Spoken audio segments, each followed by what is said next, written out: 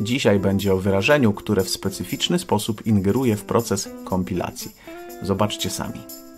Aby w najprostszy sposób wyjaśnić, co robi te const expr i const expr w wyrażeniu if, trzeba sobie tak przejrzeć szybciutko kompilację, co ona w zasadzie robi, i wtedy gdzieś tam umiejscowimy te nasze wyrażenia w tej kompilacji, by zobaczyć, na czym ta ingerencja polega.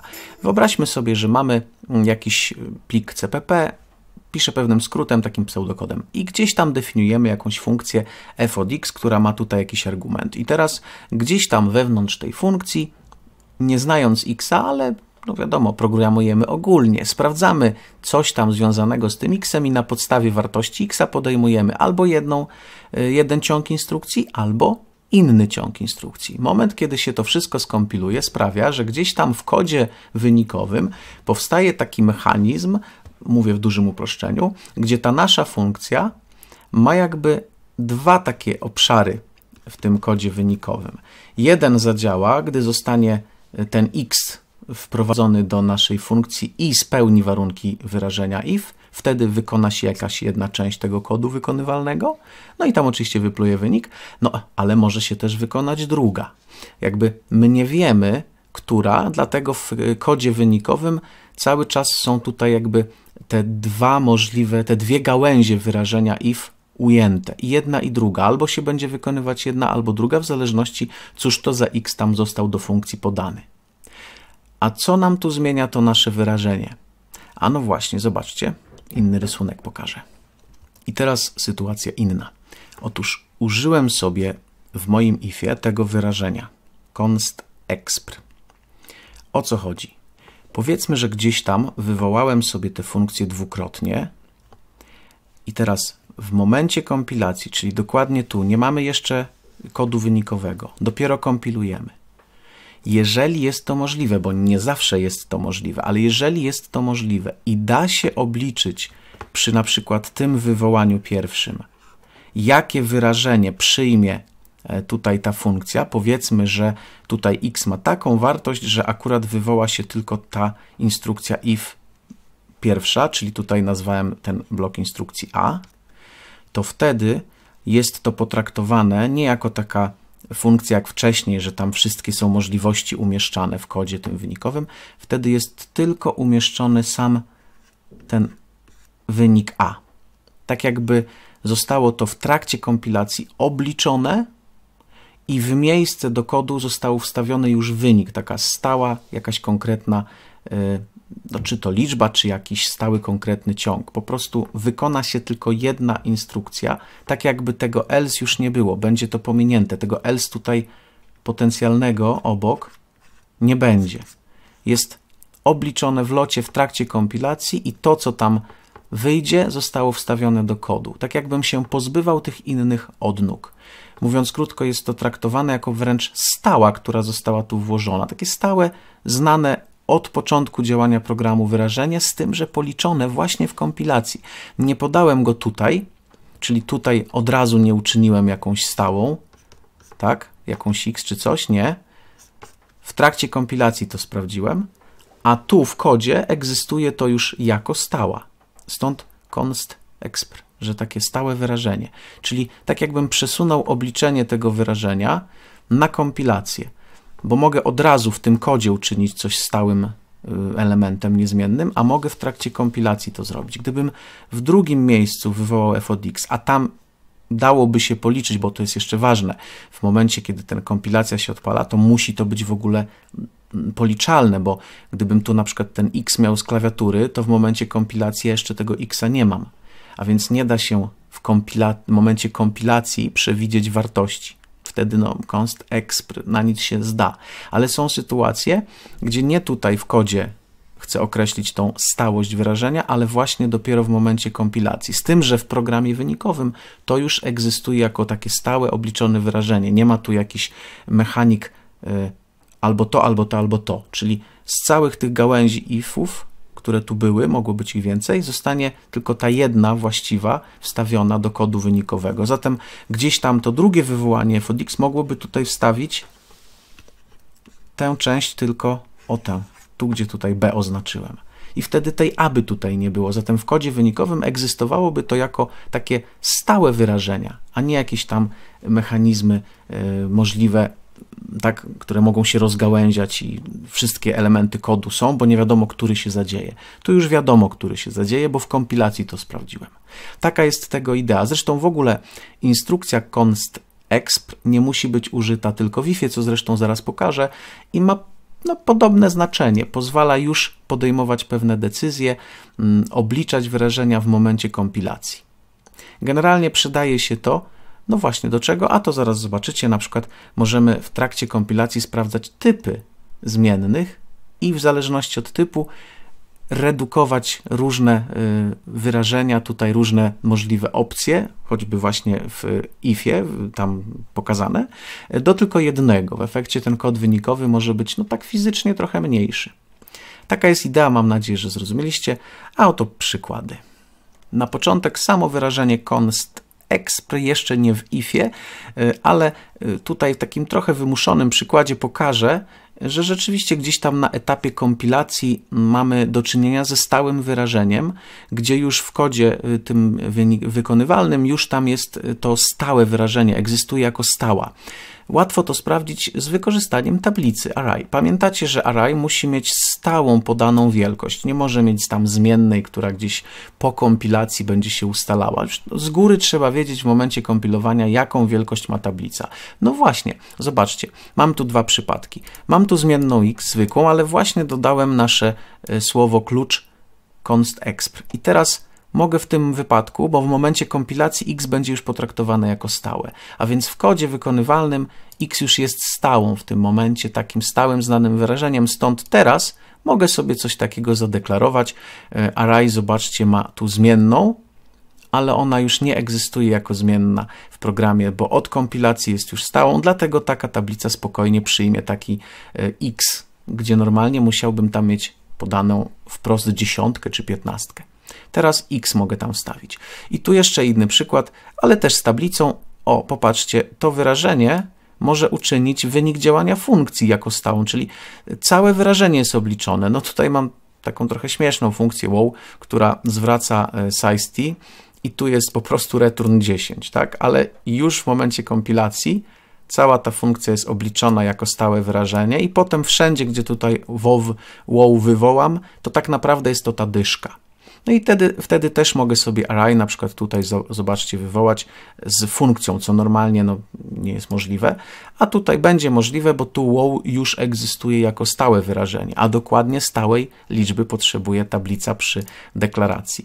No i tutaj do tego momentu sobie to skompilujemy, żebyście mogli zobaczyć, że rzeczywiście tutaj nam kompilator błędów nie zwróci. O i popatrzcie, 10, 10, tutaj size 10 elementów, dokładnie tak jak ta wow zwróciła i tak jak tu x miał na początku też przyjęte, a jeszcze sobie wyświetlimy, o widzicie jest tam 10 zer, czyli mm, inicjacja tego array 1 czy tu array 2 jak najbardziej jest możliwa. Const expression nam to załatwiło, bo już w momencie kompilacji zostało to potraktowane jako stała, bo tam zostało to obliczone i już do kodu weszło jako stałe wyrażenie.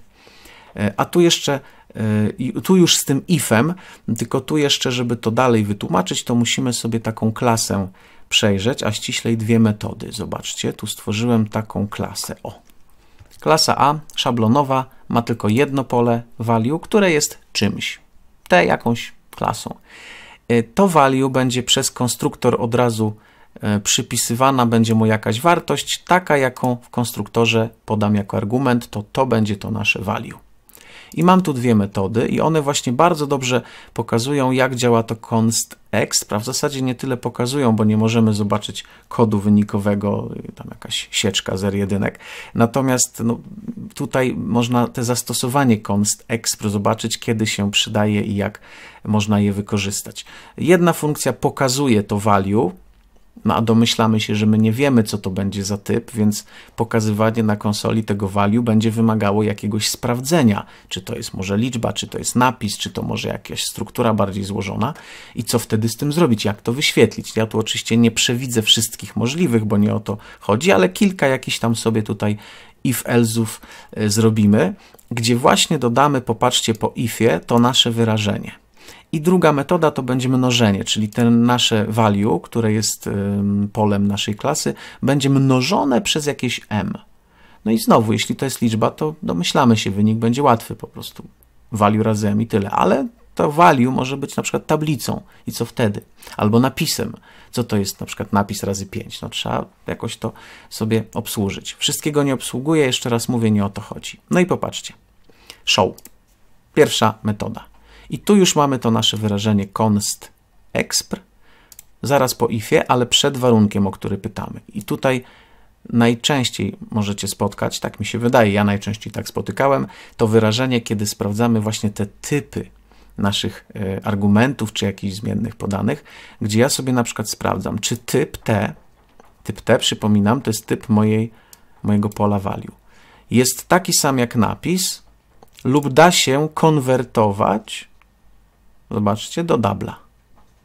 Zatem gdy mam napisy lub liczby, floaty, inty, unsigned inty, wszystko co da się do dubla konwertować, to po prostu te value mogę wyświetlić. I teraz, jeżeli wywołam moją metodę show i value będzie napisem, to w momencie kompilacji zostanie tylko ta część zachowana. A te jakby no, nie wystąpią. Te gałęzi pozostałe zostaną w ogóle zignorowane.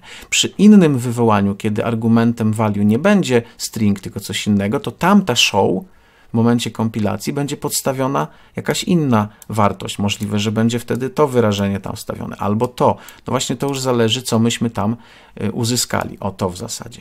Zatem co tu jeszcze mamy? Drugi else if const expr sprawdza, czy mój typ jest wektorem stringów czyli zbiorem stringów oraz czy nie jest przypadkiem wektorem dubli, floatów, intów i tak dalej. No, mogłem jakoś inaczej zapisać, ale chciałem pokazać o co chodzi w ten sposób. I tutaj, jeżeli jest to wszystko, chociaż jeden z tych warunków spełniony, to wtedy sobie po prostu, o, w ten sposób przechodzę przez elementy tych wektorów i też je wyświetlam.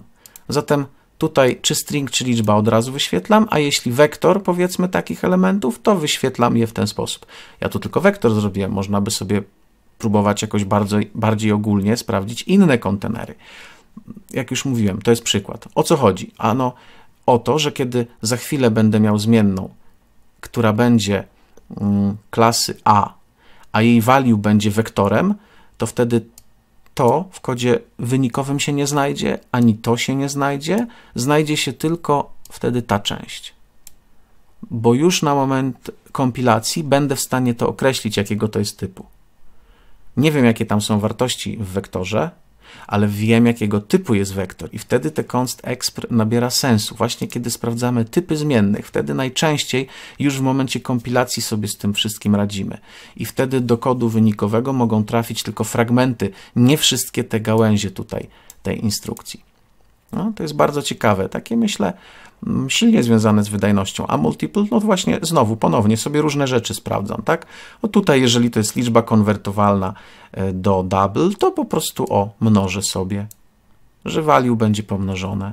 A jeżeli tutaj mam, że jest to napis e, i moje x tutaj w multiple da się konwertować do inta, to sobie na przykład ten m razy napis powielam.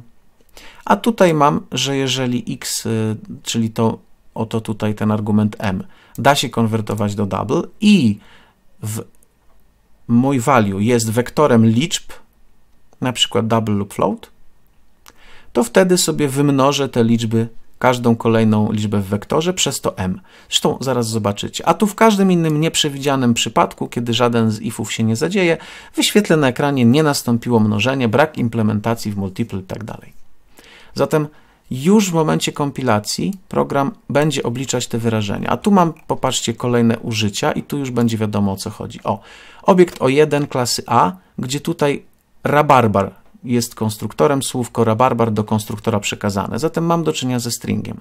I kiedy wywołam show, to w momencie kompilacji to jest obliczone. I do kodu wynikowego nie trafiają tam wszystkie możliwe mechaniki, wszystkie możliwe odnogi tego gałęzi, tego ifa, tylko trafia ten, który jest odpowiedzialny za string, czyli tylko trafi to, o to. A ściślej to nawet tylko to. Nie? Sam wynik cout value tam będzie. Po prostu wyświetlenie. Nie? Tutaj mamy multiple przez 5 i całe to wyrażenie też zostanie sprowadzone tylko do jednej z tych gałęzi, czyli w kodzie nie znajdą się wszystkie gałęzie y, w kodzie wynikowym, tylko ta jedna, która odpowiadała i którą już w momencie kompilacji mogliśmy sprawdzić. No i tu ponownie show, y, zobaczymy za chwilę jak to chodzi. Odpalamy. F10 dla pierwszego przykładu i od razu show. I mamy, popatrzcie, tam wcześniejszy tutaj taki efekt był, e, ale to jak wyjaśnię to, co teraz, to ten efekt możecie sobie tam sami poczytać. Tutaj mamy rabarbar, to jest pierwsze show o 1, a tu mamy pomnożony przez 5 i znowu show, mamy 5 rabarbarów. Ok? Tutaj mamy zwykłą liczbę, tak? Jakąś tam konwertowalną do dubla. Jak teraz się zachowa? Nasz program. Oczywiście tak jakby w wynikach tutaj byłoby tak, jakbyśmy tych const w ogóle nie używali, ale właśnie ten kod wynikowy już tam jest okrojony, czyli to show tutaj w kodzie wynikowym nie wygląda tak samo jak to show, bo ma inny typ danych i w momencie kompilacji zostało to sprawdzone i tylko niektóre elementy z tego ifa zostały umieszczone w wyniku. Zatem tutaj mamy 150, bo użyliśmy setki, pomnożyliśmy ją przez półtorej, wyszło nam 150. Zatem tu się wywołało tylko o to w multiple, nie? A show też tylko to te zostały pominięte. No a co, gdy będziemy mieć jakieś wektory? No to popatrzmy dalej. Tu teraz mam wektor liczb, przynajmniej float, tak? Y, to jest o 3. Jak to zrobimy show, to zobaczcie, wyświetlą się wszystkie te elementy 1, 2, 3, 4. To znaczy, że już zostało wywołane w show o ta, ta część, o ta. O ta część, czyli tej w przypadku tamtej konkretnej instrukcji. Tego i tego nie, tam jakby nie znajdziemy w kodzie wynikowym. Ta konkretna instrukcja tutaj została rozwinięta tylko do tej jednej części. Już tyle razy to powtórzyłem, że już na pewno wiecie o co chodzi, zatem teraz już tylko przelecimy do końca. Show po multiple razy 2, wszystkie elementy zwiększone razy 2. Działa to intuicyjnie, ale różnica jest w tym kodzie wynikowym, bo na ekranie to by działało tak czy inaczej. Jakby nie, nie widać tego w momencie, mm, no, musielibyśmy kod źródłowy porównać obu, nie, żeby mieć pewność, no ale tu musicie przyjąć, że nie skłamałem. E, dla wektora napisów też wiemy, co z tym zrobić, wyświetlamy kolejne słowa. Tutaj mamy wektor floatów, wszystko będzie podobnie, wymnożone przez 10, a tu uwaga, tu mam wektor jakichś liczb dodatnich, unsigned, których nie przewidziałem i kiedy próbuję wywołać show, pojawia się brak możliwości wyświetlenia, brak implementacji, ale jeszcze raz podkreślam, to wyrażenie, o ta dokładnie linijka, w momencie kompilacji została zamieniona na ten napis, na tę instrukcję i tylko ona się tam w tym kodzie znajduje. Tamte zostały pominięte, ale tylko w tym miejscu, w tym momencie, ponieważ trakcie kompilacji dało się określić wartości tych kolejnych wywołań jako stałe. Dało się to określić. Sytuacje mogą być też takie, że te const expr nie zadziała, ponieważ chcemy wymusić, żeby on nam policzył wartość, ale nie jest to możliwe. Chociażby wspomniany przypadek, że chciałbym mieć jakąś funkcję const expr, ale argument przekazany jest pobierany cinem, a więc nie da się i tak wiedzieć w trakcie kompilacji, co tam będzie ale typy danych, jako że C jest językiem typowanym, muzyka, jak usłyszycie muzykę, to sąsiedzi, y, ale typy na przykład danych, typy zmiennych można sprawdzać w momencie kompilacji w wielu przypadkach i często spotkacie właśnie taki, takie tutaj sparowane te dwie mechani dwa, dwa mechanizmy. Const expr, które jest testem w ifie do jakiegoś, y, do jakichś typów. Przydają się też wcześniejsze lekcje, patrzcie, tam is convertible v i tak dalej, to co żeśmy mieli, e, w, kiedy mogliśmy sobie sprawdzać własności typów, prawda? Tutaj łączymy to wszystko. A na koniec mała zapowiedź. Zbliżamy się do takich lekcji z różnymi ćwiczeniami, także niektórzy na to czekali. Wiem o tym, już teraz zapraszam. Tyle na dzisiaj. Dosyście muzyki kończymy dzisiaj. Wy może nie słyszycie, ale leci niezła muza. No dobra, fatalna, ale leci. Mieszkania. Sąsiedzi po prostu. Tyle na dzisiaj.